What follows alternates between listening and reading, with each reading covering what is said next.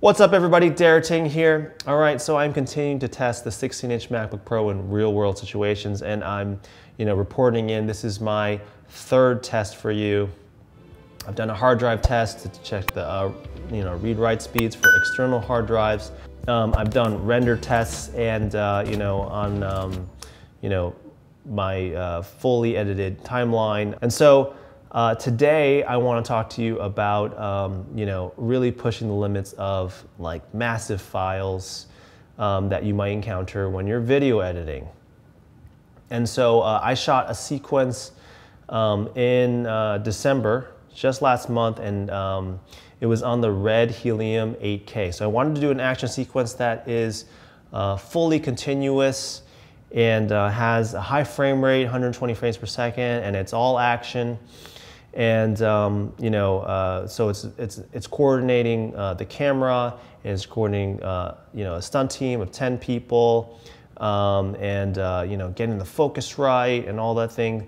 And uh, you know, the last thing you want is for um, you know the footage to be not so good. And so um, really, the reason why I chose the Red 8K was because uh, it had the 120 frames per second at 4K, um, and um, so, uh, you know, uh, and a big shout out to EVS, uh, the company that I uh, rented from. They gave me an awesome deal in LA.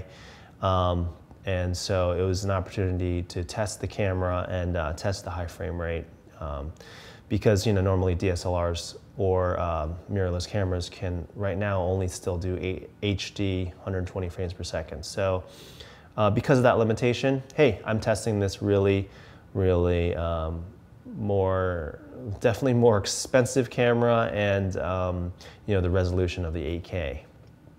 All right, so um, I'm happy to report that bringing in the R3D files, um, you know, and reviewing them, super, super easy. Um, I didn't have to do any plugins. I just kind of dragged them in. Uh, this is for DaVinci Resolve though. Premiere Pro, I am not sure, but I am working with editor who's actually gonna do the final product in Premiere Pro. And I'm happy to report actually that he was able to handle on his iMac.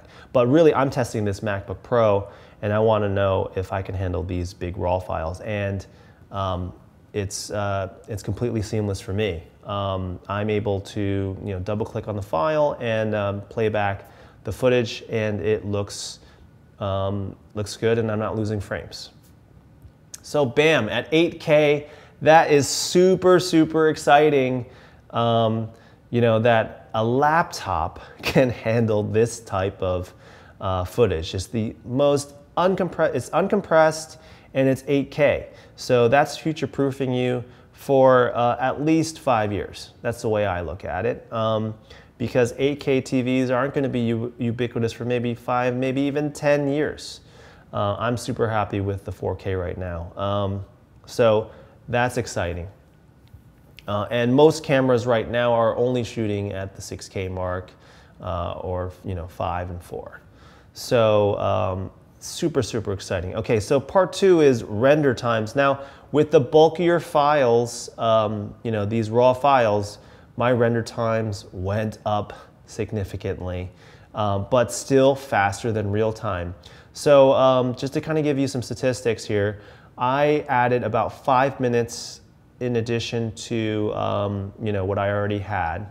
So, um, you know, my total runtime for this movie is going to end up being about uh, 87, 88 minutes.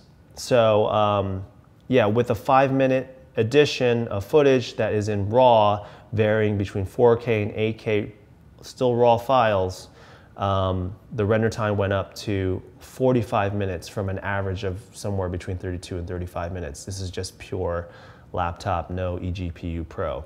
So, um, you know, you can see like just adding that raw footage, man, it's, you know, you, your render times bump up. But still, I mean, if I have like an 88 minute movie and it's able to render the full movie at um, 45 minutes, that's, that's awesome because that's, you know, faster than real time which up until now I have been only experiencing real time, slightly more than real time with my 2016. So that's a ton of time saved. Um, especially since you know I'm outputting in different formats, sometimes HD, sometimes 4K, and you're distributing them across um, different teams.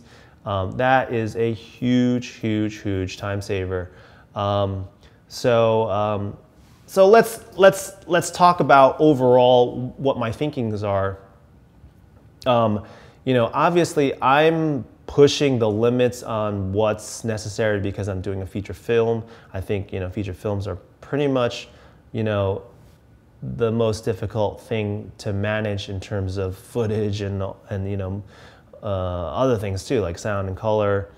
Um, so you know this laptop is is really exciting for those people that travel a lot or are on production a lot. So you know, it's, it's really good for somebody who, you know, wants to be shooting somewhere and editing there at the same time.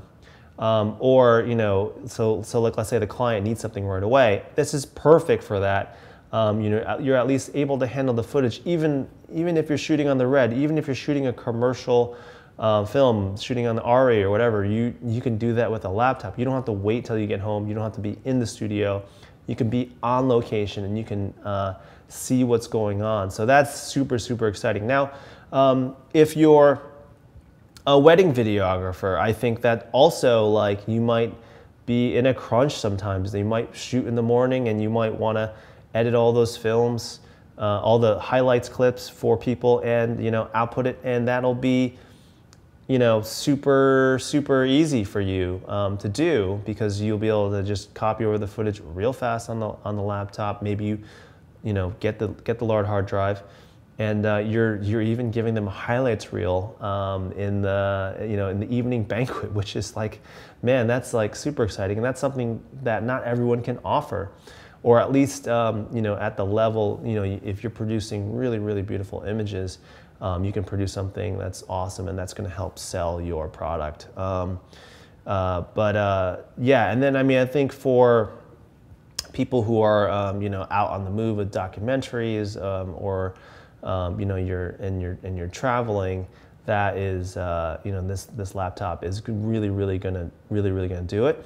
But you know um, I would say that hey, you are still okay with a 2016 um, laptop if you're not pushing the limits on what kind of footage you're using. So, um, you know, take that into consideration. If you want to save the money, uh, you don't need this laptop. That's my personal opinion. You don't need this laptop, but um, it's definitely going to save you time and you're going to be much more efficient owning it. So um, there's a huge amount of value in purchasing it, but you know, only if you have the work to dictate the cost. Otherwise, I'm still of the budget minded. I'm a budget minded person, and up until now, I probably would have, um, you know, uh, even the, even the laptop that I had was uh, budget minded. It was you know last year's model, and uh, it was you know on sale at a good price. But uh, in this case, because uh, this is the level that I'm sort of getting at and uh, working on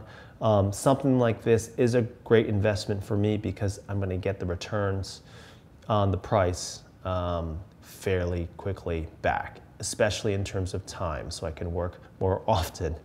Um, so uh, that's my summary for the 16-inch MacBook Pro. It's great if you have the work that dictates it.